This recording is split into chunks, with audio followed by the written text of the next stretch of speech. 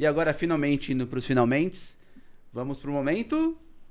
Essa aqui tem que ser fe... Essa aqui tem que ser a melhor de todas, hein, rapaziada? Porque o cara. Eu não queria botar Você tá ligado? Eu não expectativa queria botar expectativa. Mas eu vou analisar. Mas essa aqui. Eu vou analisar o- a, a, a qualidade, né, de jog- de jogabilidade da carta. Como jogar Jolé. Ah, tem um dog.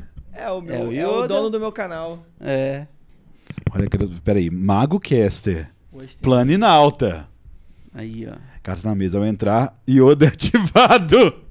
Seu rastreio é o poder de procura de uma carta especial de time. Au au. Yoda Diário Planinalta.